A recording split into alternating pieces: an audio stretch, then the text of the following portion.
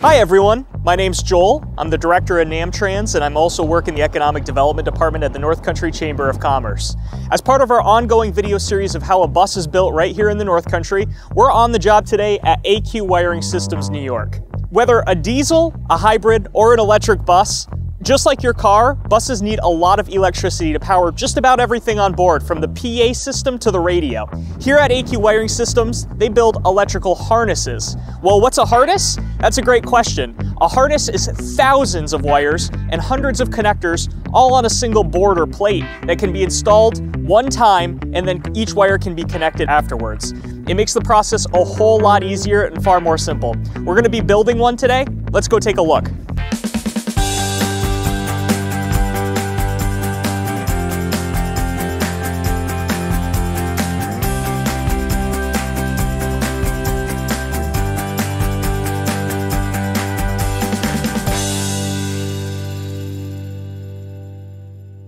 So the entire process at AQ starts with the raw wire. So we're going to be unloading some of this and then we're going to be taking it through the process of building the electrical harness. So raw wire in the bucket, let's take it off the truck.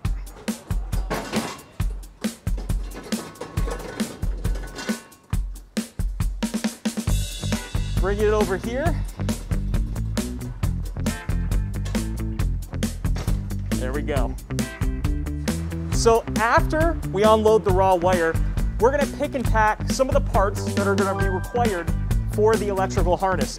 Everything in this bag right here is gonna be built into a harness that'll ultimately end up in the bus. So we unloaded some of the raw wire from the barrels. They're brought out onto the floor. And then we're brought over here. They're cut to the specific length that's needed. They're actually cut, and then what comes out at the end is something that's cut, sealed, terminated, where we add a terminal to the end, and that terminal allows these wires to be connected. How do they know where they go?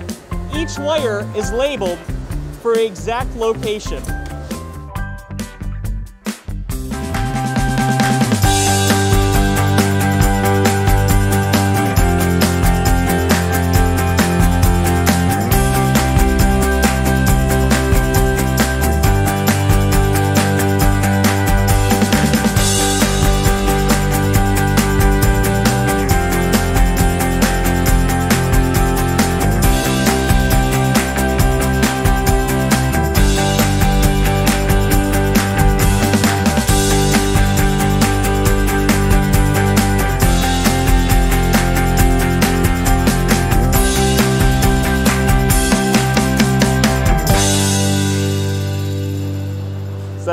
Yeah? Look at that.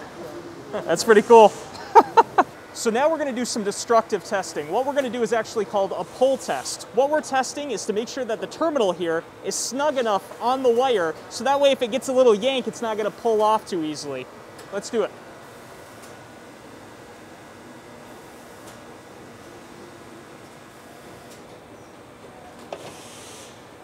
And there's your number. So we started with raw wire. We cut, we crimp, we added the terminals, we've labeled them, they've gone through the whole process of getting heat wrap, and now we're at the final end before they're installed into the harness assembly, or the electrical assembly. So what we have here are some sub-assemblies. So they're not all gonna be built on the table, some of them are built here ahead of time. Here's an example of a sub-assembly. You see the terminals on the back end, and each wire is inserted into this assembly ahead of time. They're placed on these walls, and then we're ready to build the final electrical assembly. So now we've reached the final assembly phase where we are taking the wires that we've developed earlier in the day and assembling them into the harness itself. As you can see here, a harness has hundreds of wires that are plugged into the different components, and the board here tells them exactly how they need to be assembled.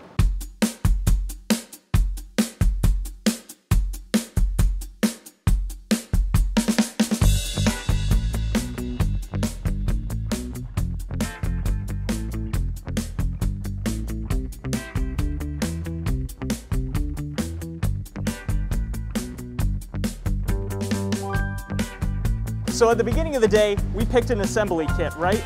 Now what we're gonna do is we're gonna take this assembly kit and we're gonna marry it to the wires. So we have all of our wire assemblies here. How do we know how to do that? We have the instructions, we have the board. These nails on the board show us the exact location of where these wires are gonna connect. And then we'll build our electrical assembly. Now we're all finished. We're gonna bring this assembly over.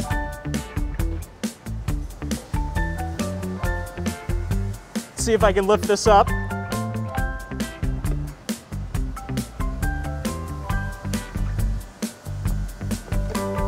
Each harness is gonna be tested.